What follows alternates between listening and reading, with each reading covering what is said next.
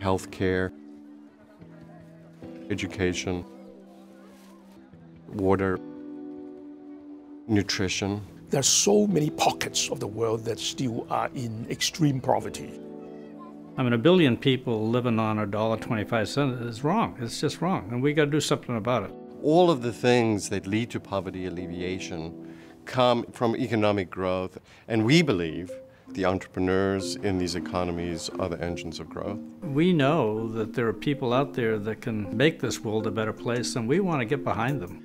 Thanks to a generous gift from Bob and Dottie King, Stanford University is launching a bold new initiative. I think what the gift allows us to do is it allows us to think in much bigger terms about what it is that we could do. We are going to create an institute housed in the Graduate School of Business to bring our knowledge about entrepreneurship to entrepreneurs who are trying to make a better life. It's called the Stanford Institute for Innovation in Developing Economies.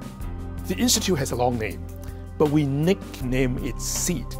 SEED signifies possibilities. Something small that has the potential to grow. It means hope. SEED is going to include three components research, education and dissemination, and what we're calling an on the ground component. Each part of the Institute reinforces and supports the others. We will conduct research on how to develop management skills and create an entrepreneurial spirit. In the education and dissemination part of the Institute, we will develop courses for our students, courses for entrepreneurs from developing economies, and we will take the knowledge that we have created in the research arm of the Institute and disseminate it very broadly using the web and information technology. We also recognize the need of collaboration with on-the-ground people, working with local groups to make things happen. Engineering students, medical students, business students coming together to produce new goods and services that don't exist now.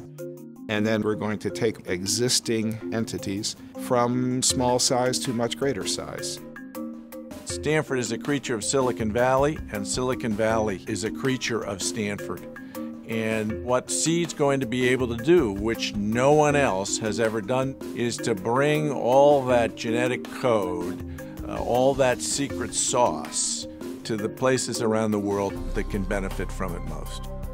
It's not just going to be a think tank, it's going to be results that uh, is going to change people's lives. This is one of the largest gifts in Stanford's history. This is a very exciting opportunity. It is frankly for all of us the opportunity of a lifetime.